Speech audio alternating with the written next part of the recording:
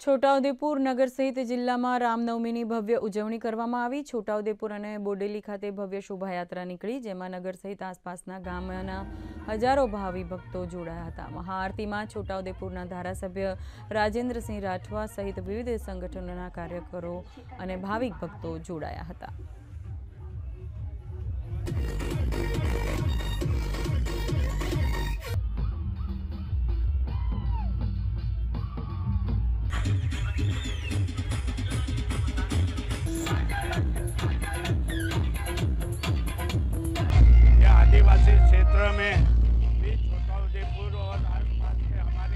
आदिवासी बन- और शहर के सब नागरिक आके भगवान राम लला के जन्म को याद करके